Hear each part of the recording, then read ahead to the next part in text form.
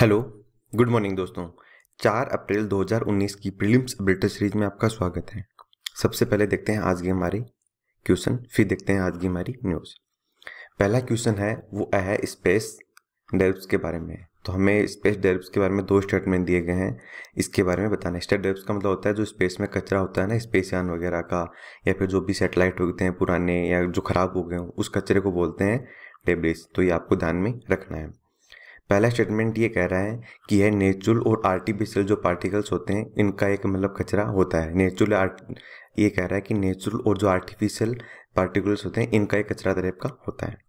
Second statement ये कह रहा है कि इसरो है, इसके पास ऐसी कोई भी रिसोर्स या ऐसी कोई कैपेबिलिटी नहीं है, जो कि स्पेस में जो कचरा है, इसको ट्रेक कर सकती है। हमें पूछा गया यहाँ पे करेक्ट स्टेटमेंट कौन सा है? तो एक बार आप सोचिए कि इसका सही आंसर क्या हो सकता है। क्योंकि हमने इसके बारे में देखो डिस्कस भी किया था अभी तो एक बार सोचना। इसका जो सही आंसर है, वो यहाँ पे हो जाएगा सी कि जो नेचुरल और आर्टिफिशियल दोनों ही तरह का जो कचरा होता है, वो एक्चुअली स्पेस डेब्स के नाम से जाना जाता है। इसी के साथ यहाँ पे सेकंड स्टेटमेंट भी सही है कि भाई इसरो के पास अभी तक ऐसी कोई भी कैपेबिलिटी नहीं है कि वो स्पेस में जो कचरा है, इसको ट्रेक कर सकता है। तो इसका आंसर हो जाएगा सी नेक्स्ट जो क्वेश्चन है, वो आपके सामने ऑर्बिटल डेरिव्स के बारे में है। ऑर्बिटल डेरिव्स है, वो क्या होता है? तो देखो, अगर आपको बताऊँ मैं ऑर्बिटल डेरिप्स का मतलब होता है कि all man made objects in orbit in the earth which no longer serve a useful purpose मतलब कि जो अर्थ की ऑर्बिट है, इसके आसपास चक्कर लगा रहे हैं और मैन मेड ऑब्जेक्ट हैं। स्पेशली ध्यान रखना मैन मेड ऑब्जेक्ट है जो अर्थ के चारों ओर, अर्थ ने किसी इंपॉर्टेंट काम के लिए भेजे हो बट अब वो कोई भी यूज़फुल काम के लिए नहीं कर रहे हैं। जैसे एग्जांपल है लो कि इंडिया ने कोई सेटेलाइट लॉन्च किया। उसका टाइम पीरियड था पाँच साल। पाँच साल के बाद उस सेटेलाइट ने काम करना बंद कर दिया। तो वो एक तरह से वेस्ट ही हुआ ना, कचरा ही तो हुआ। तो वो आ जाएगा ऑर्बिटल डेरिप्स के बारे में। तो इसका आंसर है वैसे सही है वो ए होगा। बाकी देखो यूपीएससी घुमा फिरा के कुछ भी दे सकती है तो वो कोई लॉजिकल बात नहीं है। इसका आंसर ए वो यहाँ पे हो जाएगा। नेक्स्ट जो क्वेश्चन है, यहाँ पे वो आपके सामने आया है। मारदानी खेल के बारे में, ये मर्दानी खेल या मारदानी खेल? ये एक मार्शल आर्ट है। कहाँ की है ये आपको बताना है। देखो, जो मर्दानी मार्शल आर्ट है ना, ये जो खेल है, ये एक्चुअली महाराष्ट्र की एक मार्शल आर्ट है। आर्ट एंड कल्चर के लिहाज से इम्पोर्टेंट ये है। चलते हैं नेक्स्ट क्वेश्चन की तरफ़।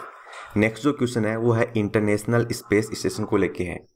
पहला स्टेटमेंट ये दिया गया है, यहाँ पे इंटरनेशनल स्पेस स्टेशन को लेके कि यह वर्ल्ड का ओनली परमानेंट लेबोरेटरी है स्पेस में, जो कि जियो सिंक्रोनस ऑर्बिट में ट्रेवल है, वो कर रही है। सेकेंड स्टेटमेंट ये है कि एक जॉइंट प्रोग्राम है, जो कि यूएस रसिया चाइना और फ्रांस और यूरोप का कोलेब्रेशन है। हमें यहाँ पे करेक्ट स्टेटमेंट बताना है। एक बार आप यहाँ पे सोचिए कि कौन सा इसका सही आंसर होगा। देखो, इसमें पहली बात तो ये है, हमने इसके बारे में डिस्कस भी किया था कि इंटरनेशनल जो स्पेस स्टेशन है ना ये लो अर्थ ऑर्बिट में है, ना कि जियो सिंक्रोनस ऑर्बिट में या जियो स्टेशन में तो इसका मतलब पहला स्टेटमेंट गलत है। सेकेंड स्टेटमेंट गलत इसलिए है क्योंकि इसमें चाइना नहीं है, कनाडा है।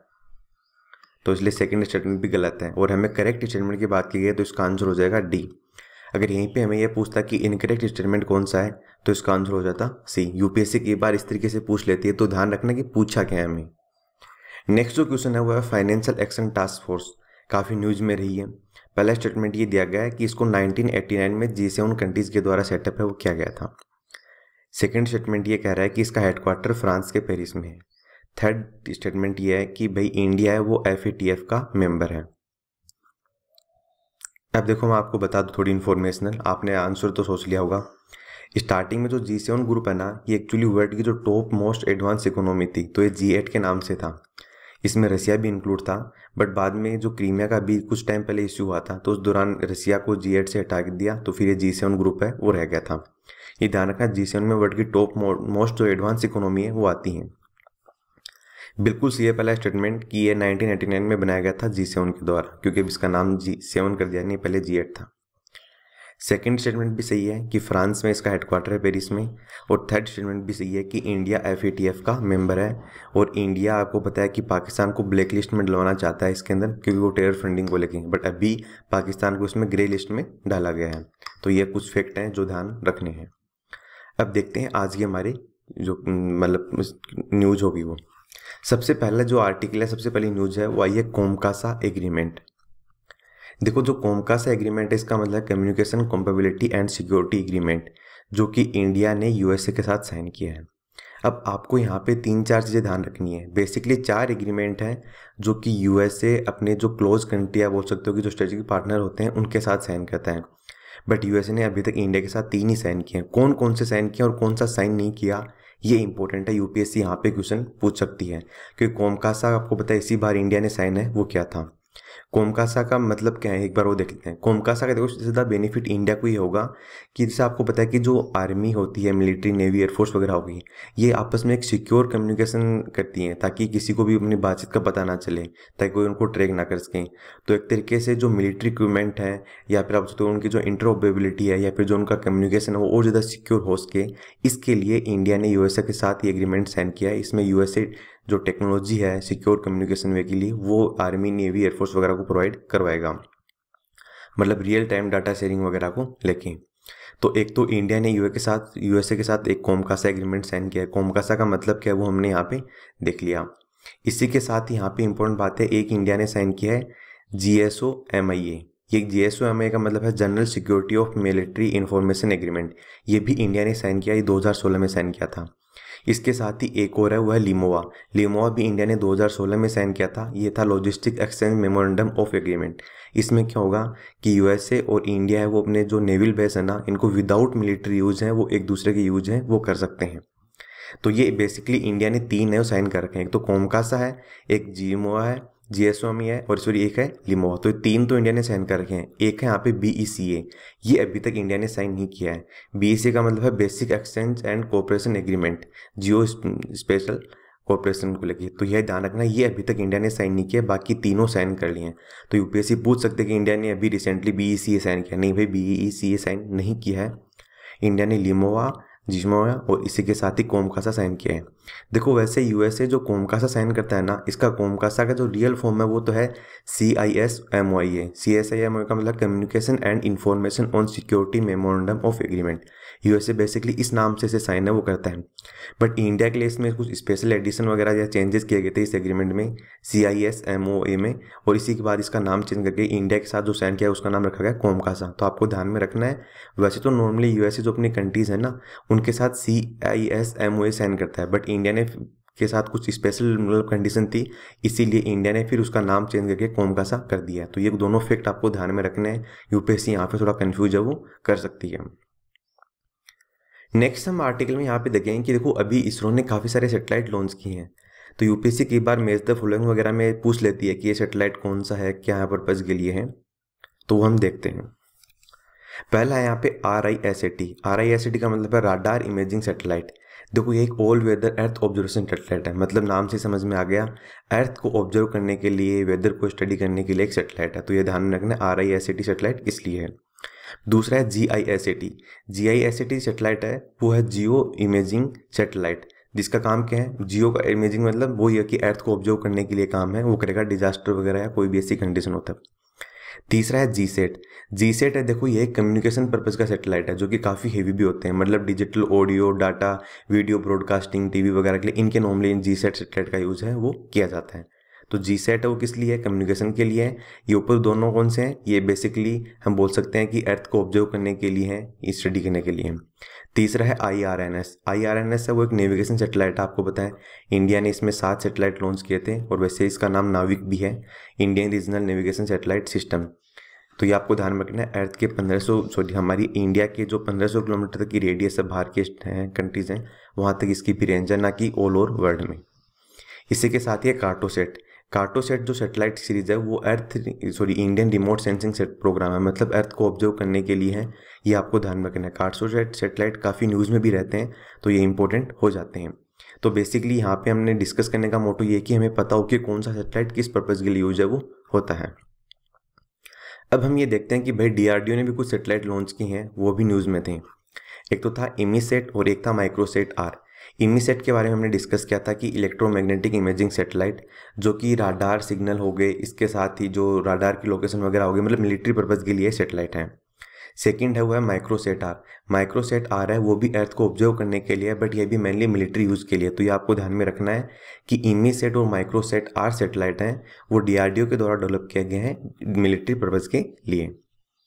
नेक्स्ट जो आर्टिकल है, वो है, कडमल या कंधमाल हल्दिया टर्मरिक को लेके। देखो, अब इसका प्रोनाउंसिएशन कंदमल भी हो सकता है या कंदमाल भी हो सकता है तो वो कोई इतना इंपॉर्टेंट नहीं है बट हमें पता होना चाहिए कि है क्या। कंटेक्स्ट ये है कि जो ये कंडमाल हल्दी की प्रजाति है ना, या टर्मरिक की जो प्रजाति है, ये बेसिकली उड़ीसा से बिलोंग करती है, और अभी इसको जी आई टैग है, वो प्रोवाइड करवाया गया है। अब देखो, कुछ बेसिक इन्फॉर्मेशन दी गई है कि इसका येलो कलर होता है, वो तो हमें पता ही है तो ये कुछ इंपॉर्टेंट नहीं है। और हल्दी की जो है मेडिकल मेडिकल जो मेडिकल वैल्यू है, वो काफ़ी ज़्यादा होती है मतलब मेडिकल पर्पज से भी इसका यूज़ है, वो किया जाता है। कॉस्मेटिक पर्पज हो गया डोमेस्टिक पर्पज इसका यूज़ है, वो किया जाता है।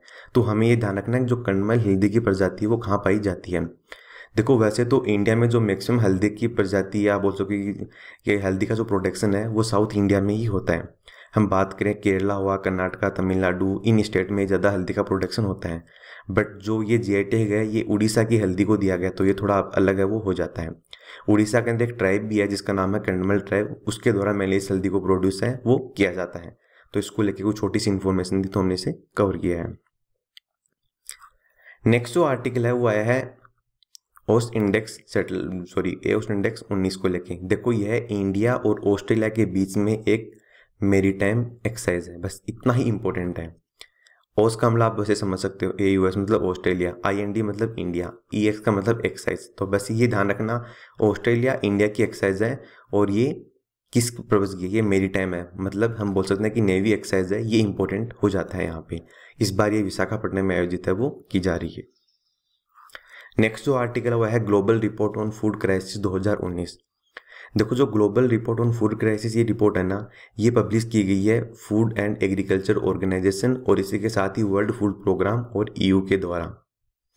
इस रिपोर्ट में सबसे इम्पोर्टेंट डाटा ये दिया गया है कि वर्ल्ड में लगभग तिरपन कंट्रीज़ ऐसी हैं, जिनमें एक सौ तिरपन सॉरी एक सौ तेरह मिलियन लोग ऐसे हैं जो अभी भी फ़ूड सिक्योरिटी से मतलब जूझ रहे हैं। मतलब उनको फ़ूड सिक्योरिटी प्राप्त नहीं है, या बोल सकते हो कि बहुत ही एक्सट्रीम लेवल पे वो भूखमरी का शिकार हैं। ये यहाँ पे एक डाटा दिया गया है। इसी के साथ ही इसमें दिया गया कि आठ ऐसी कंट्रीज़ हैं जहाँ पर टू थर्ड जो लोग हैं ना, वो भूखमरी या आप बोल सकते हो कि खाने से पीड़ित है मतलब उनको खाना टाइम पे नहीं मिल पा रहा है। उस आठ कंट्रीज़ की बात यहाँ पे की गई है। अफ़गानिस्तान हुआ डेमोक्रेटिक रिपब्लिक ऑफ़ कॉन्गो हो गया इथोपिया हो गया नाइजीरिया हो गया साउथ सूडान सूडान सीरिया और यमन देखो, आपको पता है सूडान यमन इस वाले एरिया में तो वैसे ही सिविल वो सिविल वॉर चल रहा है तो हालत इनकी माली ख़राब हो रही है और अफ़गानिस्तान का भी सेम कुछ ऐसा ही सीन है। तो ये ध्यान रखना है कि इस रिपोर्ट में मेनली क्या डाटा सामने आया है। बाकी देखो फ़ूड एंड एग्रीकल्चर जो ऑर्गेनाइजेशन है, ये आपको है कि यूएन की एक स्पेशलाइज एजेंसी है। तो इसके बारे में हमने आर्टिकल भी डिस्कस किए हैं। तो देखो, ये थी आज ही हमारी कंप्लीट डिस्कशन अब एक बार जल्दी से हम रिवाइज कर लेते हैं कि आज हमने कौन कौन से आर्टिकल डिस्कस किए सबसे पहले आज हमने कोमकासा एग्रीमेंट के बारे में जाना कि इंडिया ने यूएसए के साथ कोमकासा एग्रीमेंट साइन किया है, जो कि मिलिट्री पर्पज़ के लिए जो कम्युनिकेशन वे है, वो प्रोवाइड करवाएगा।